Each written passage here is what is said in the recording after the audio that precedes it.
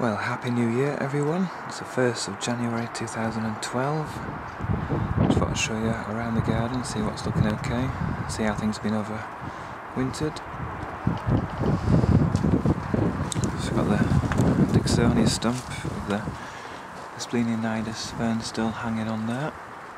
I'm not expecting them to get through winter, but I'll leave them there while they still look okay. A couple of bromeliads looking okay as well, rest have been taken out Phormium yellow wave, recovering from last winter's damage. A couple of aucubas and ferns there. All the plants have just died down, there's a little ginger under that leaf litter. Hostas died down for winter. Brunnera Jack Frost. That'll perk up soon. The aces nice Fatsia japonica with a few little berries forming at the top there. The ground ferns, hardy, hardy ones there, looking okay. The spring bulbs and flowers will come out in the next two or three months.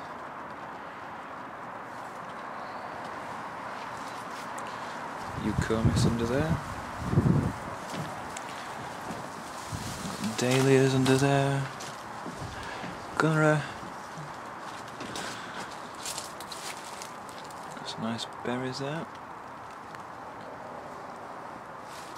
But as you can see there's not much there compared to summer. That's what it looks like now. This is what it looked like back in summer this year.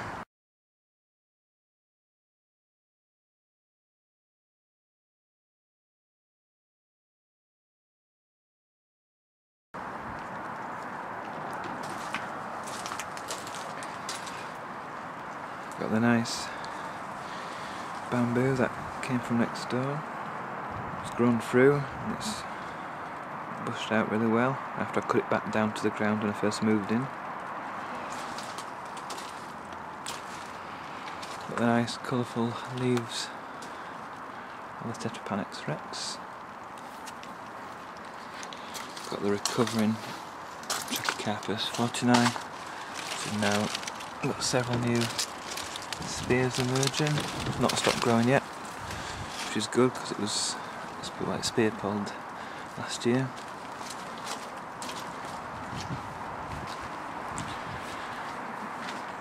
You can see the middle leaf is still green and all these flower heads are ready to emerge if it stays mild. But the rest of the leaves have blackened off now, which is ever minus 2.5. It's quite a warm, well it's 10, 10 11 degrees at the moment, but it is raining. It's been a very wet and mild winter so far. We've had about five frosts since November the 1st this year. Nothing major apart from the 2.5. You can see next to it the Melianthus, still green and fresh and growing well.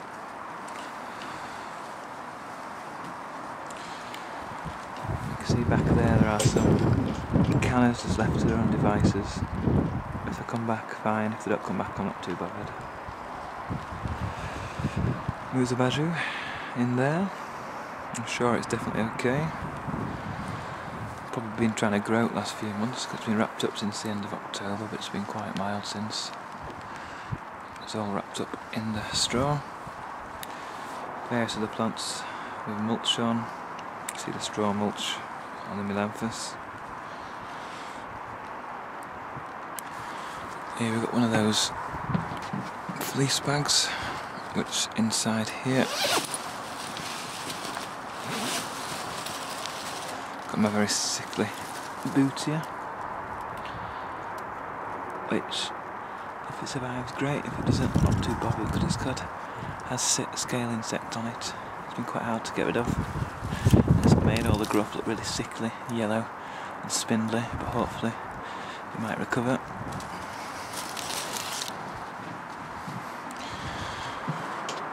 inside the house we've got some alocasias Little bananas, colocasias, losing most of the leaves, just keeping one or two per stem because there's not much light.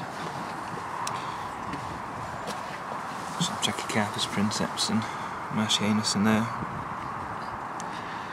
Gingers. Then further up, you can see the Alocasia Portora in there. The Ensete, Monte, bananas going right to the to the ceiling. So let's move on to the side. Trachycarpus, its wrapped pot, a hookah down there. They look fine. The aces without the leaves, obviously. Behind the greenhouse, got this eucalyptus which has been in the garage until yesterday. I've taken it out because um, it needs a bit more light and it's completely dried out. I've had to cut the top off because it withered away. But this bit looks okay, hopefully it'll survive. Cordyline seedlings down there and a big tree lily pots under there as well. Just grew I think about 7-8 foot this year, did really well. Hoping for the same later on this year.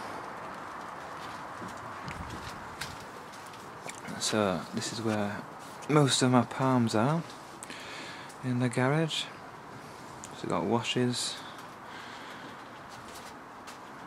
got Chamaerops cerifera, got new little bromeliads, one bromeliad there, just got my stelias here, nervosa, got my yucca Got all sorts of bits and bobs in here. See if I can climb in. Got a big Jubaea there. I've got my recovering straight green. It's spear pulled and only started showing growth very late on last year. What else we got?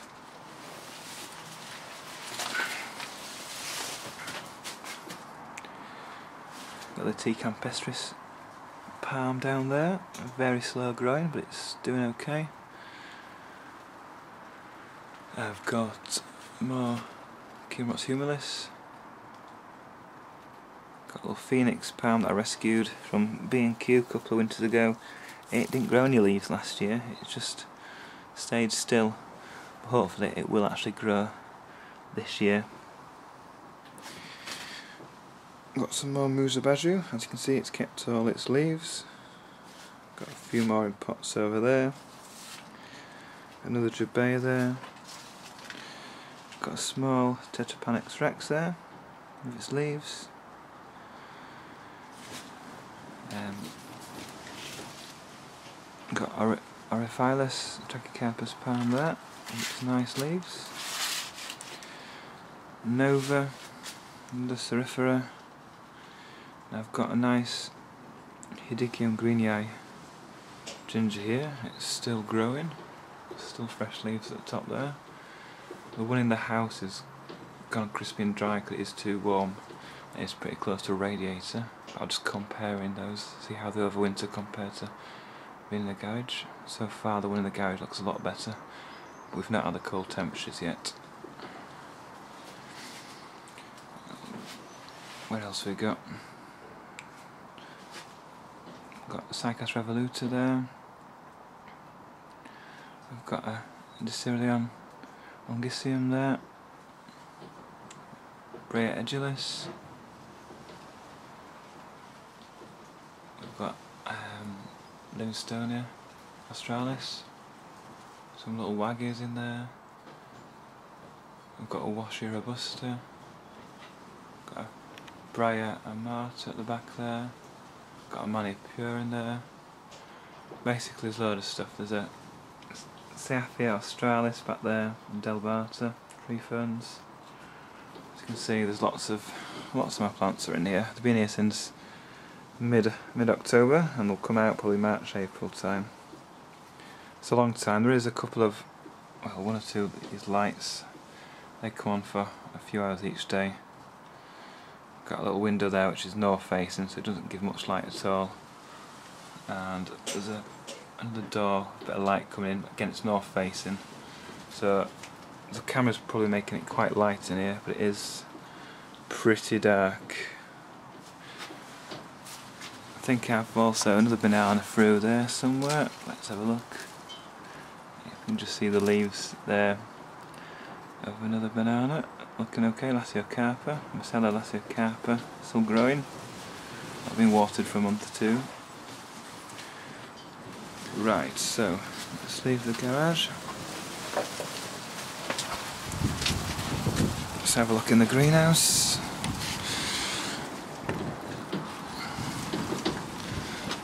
What have we got in here? Right, my Haniba, onset of Haniba banana there. Lots of gingers. I've been growing from divisions, which have shot up to about five, nearly six foot. Aeoniums. Some more palms in there. Princeps, Beccaria, Phoenix, Alfredii. Little cuttings that I did. Some colocasias in there. I mean, most of them are looking okay.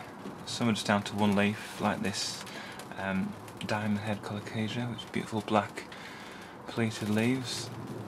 Um, some are looking better than others. This, well, there's two or three of these. These um, colocasia gigantea.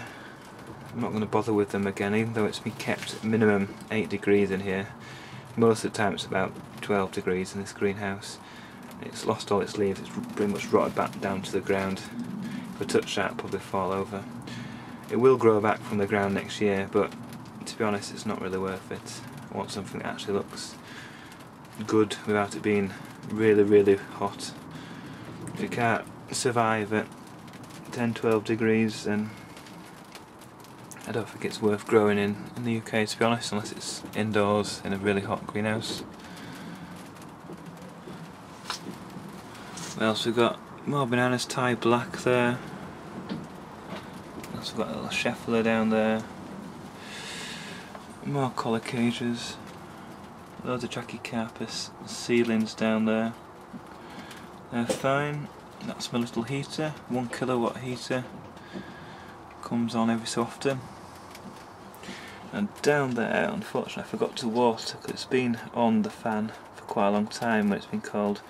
I've not watered my Cyathea. I've not watered my Cyathea medullaris and most of the leaves have gone crusty and brown. The only one that survived is the second newest one and the newest one which is poking out over there. So the plant's still alive but it's lost all but one and a half leaves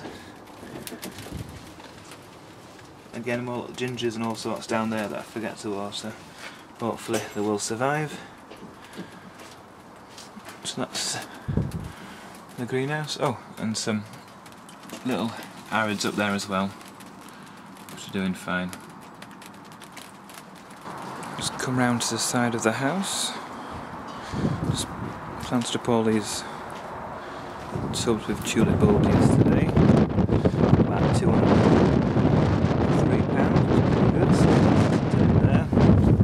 borders around the front as well. Still got a canna there that I've not protected. Again, if it survives, great. If it doesn't, I've got quite a few more in reserve. Just look in this side see my cannas I'm overwintering in here in sand. They look fine. It's look white, creamy at the bottom. There's even a little of poking out white there, trying to grow. There's no rot or anything on there, so I'm quite happy with them. The sand's kept quite moist. I've only had to water it twice, which is not bad. Canna in there as well, which is okay. Still got plump tubers there. What else have we got in here? Eucomis bulb dried off and just stored there for winter. Up top on this shelf just about see a few Ensete bananas. If I just pull one down, Now this one's looking a bit dodgy. Had to cut the top off because it did go furry mouldy and a bit wet at the top. But it's dried out, it's still got a bit of weight to it, it's still got a lot of liquid inside. And hopefully that one will come back. Now the other two are looking a lot better. Oh, maybe if you've not done this before it might look a bit horrendous looking at this, thinking how's that going to survive? It's really hard and dry now. There's no sign of life on that at all really, apart from if you look at the top. You've got some very pale leaf roll at the top which shows it's not quite dead. That can survive for up to eight months like that. So we'll see how The lowest temperature recorded just there, that temperature probe is, is 5 degrees. Most of the time it's about 10 degrees. Right, so we go around to the front garden now. It's starting to rain quite heavily now. As you can see it looks quite different from how it looks in the summer. That's where my big pot display was, and that's how it looked.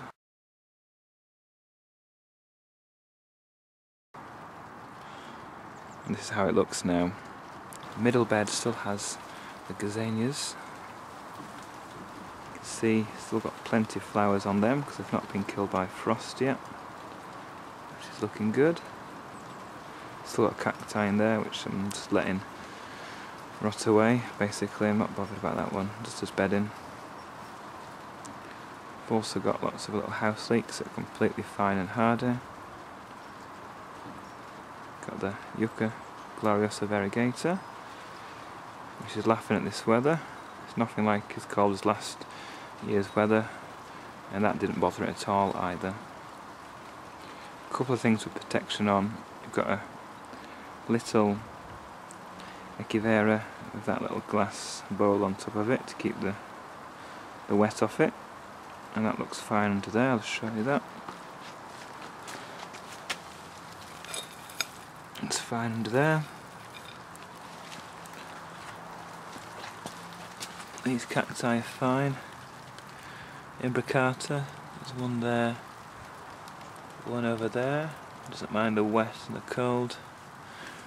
This little one, this little baileyi, just put the little rain shelter on. Because it is very small, I don't want it to get too wet.